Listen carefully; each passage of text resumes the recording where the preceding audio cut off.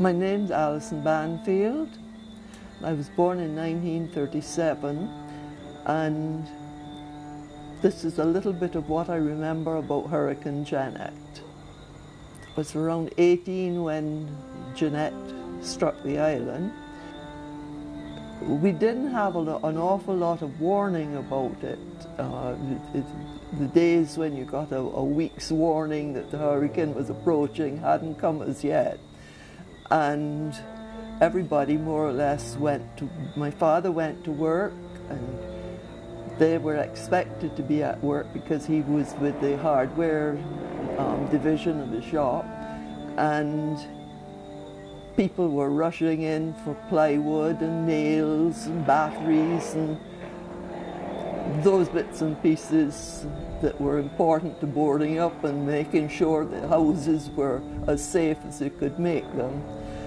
And we were very worried because it was beginning to, to blow up a bit before he got back home and my mother was running around doing her nut.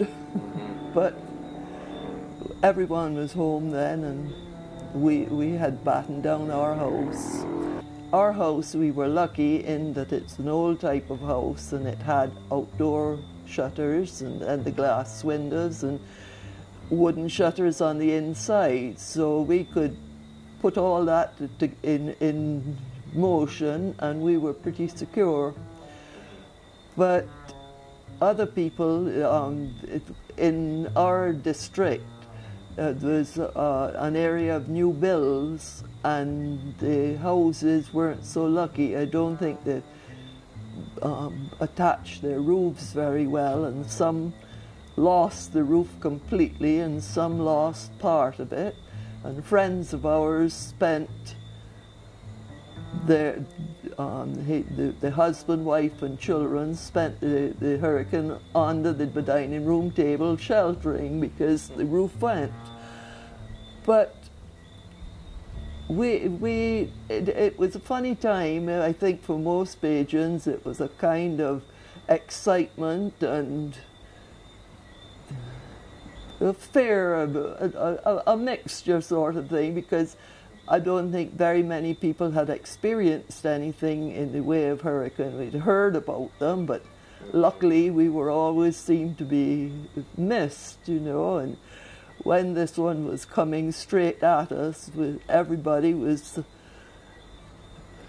well, kind of anticipating what would be and what would not be, you know. But we were lucky in a way. Part of the island got struck part of the island didn't even know it had happened. But the seas got up, and um, anywhere that was they could get through, they came over onto the roads, the sand, the little boulders, bits of moss, and things like that all across the road. And the careenage in town, a lot of the fishing vessels had gone in seeking um, shelter, and that was a bit of a mistake because when the, the sea rushed into the careenage, it forced the boats all to, to, to collide with each other, and they suffered quite a bit of damage as well as the lighters which were used in those days to ferry the goods from the, the um, steamships in Carlisle Bay into the town proper. So there was a lot, a lot of damage actually in the careenage, and you could see in Bridgetown how how the, the sea had washed up between the, the in the alleyways between the buildings and things like that the hurricane hunters would go out and send back information.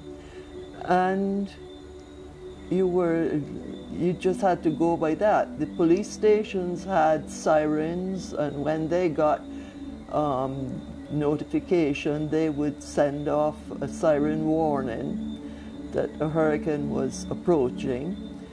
And then another warning when it actually expected to strike. And then there was usually at the end of it all an all clear warning when they thought everything had passed and you were free to go. we could look through a little window at the back of our house, and all the houses around here were shingled roofs in those days. And you could watch the, the wind sort of lift the shingles and they'd flop back down. And I think having the shingle roofs um, saved a lot of the older houses because one or two of the shingles might have broken off or a patch of them come off, but galvanized where it, when it loosened, it tended to strip quite a bit of the roof off, you know.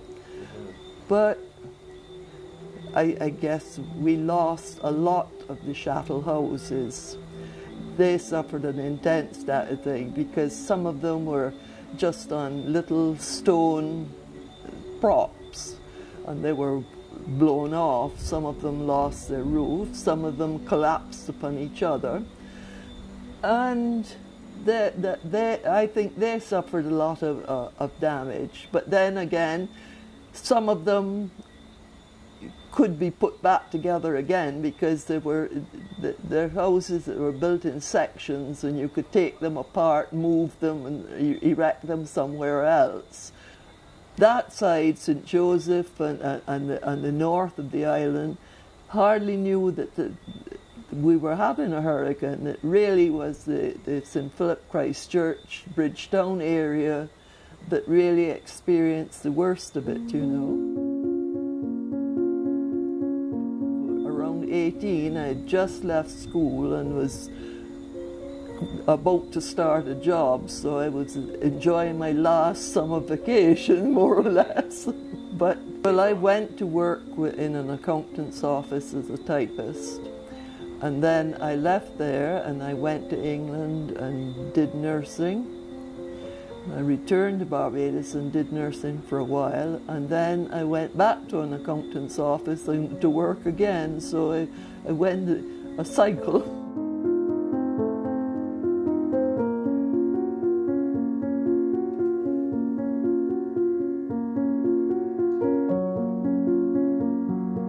Well, life in, in Barbados in those days was very much more low, more low key than it is nowadays.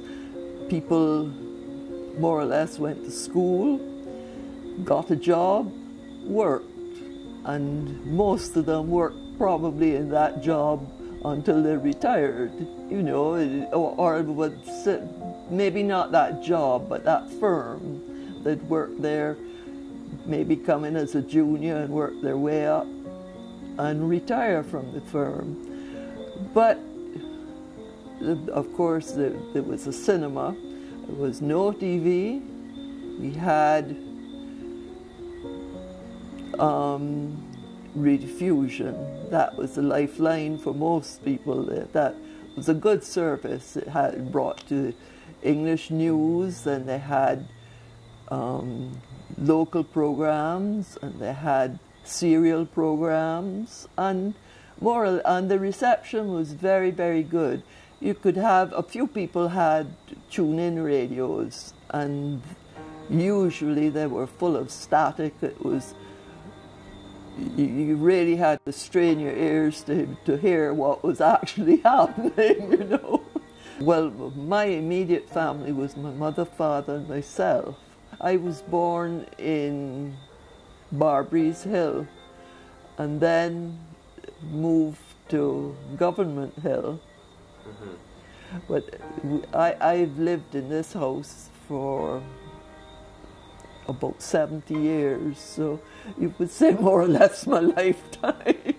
there wasn't as much distraction nowadays. You have the cinemas, you have the nightclubs, you have every day which way something is going on, something is happening. And people are from one thing to another. There's not the time for the interconnection and the friendships that, that are close, closeness that I think people felt in those days.